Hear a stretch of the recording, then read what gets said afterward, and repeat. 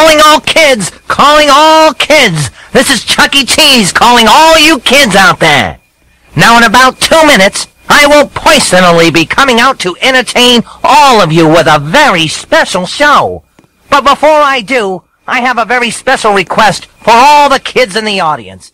And that is to come into the showroom and sit down right in front of the stage. And please, kids, when you sit down, please, oh, please stay seated, cause I'm gonna be jumping around and I certainly don't want to step on anybody's toes. And when the show is over, then I will personally shake everybody's hand, okay? Great. Well, I gotta go and get ready for my special show. See you in a couple minutes. Bye-bye.